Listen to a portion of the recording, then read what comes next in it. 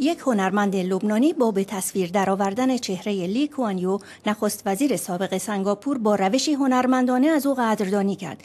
لی کوان یو که اخیرا فوت کرد بنیانگذار مدرنیته در سنگاپور است و کشورش را از رتبه جهان سومی به جهان اول ارتقا داد. نمایشگاه در گالری سنا در سنگاپور گشایش یافته است. مدیر گالری می‌گوید از چند سال پیش شعار لی کوان یو این بود که هیچ جای ممنوعی برای هنر و هنرمند وجود ندارد. حالا می‌بینیم که تعدادی از هنرمندان برای این موضوع کار می‌کنند و امیدواریم که این روش ادامه یابد زیرا لی کوان یو منبع بزرگ الهام بود.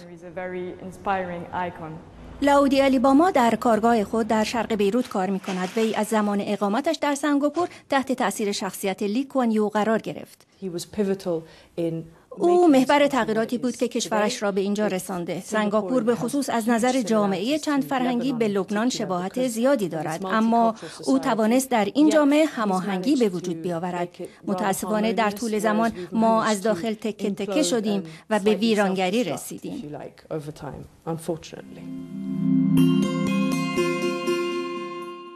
لیکوانیو شخصیتی مقتدر داشت و بر این عقیده بود که ضوابط جدی و تعیین حدود آزادی برای ثبات جامعه‌ای با تنوع ملیتی و دینی لازم است. هنرمند لبنانی به دنبال چنین ایدئالی میگردد و می‌گوید متاسفانه ما امروز جزو 22 کشور ورشکسته دنیا هستیم. همه چیزمان خراب و نابود شده و بنابراین از نظر من به عنوان یک زن جوان لبنانی یا به طور کلی یک زن جوان و برای همه دنیا کسی مانند لی کوانیو ضروری است. کسی که دنیا را بفهمد و بتواند عقاید سیاسی و سیستم های متفاوت را به خوبی تفسیر کند. To interpret different political ideas and different systems, if you like.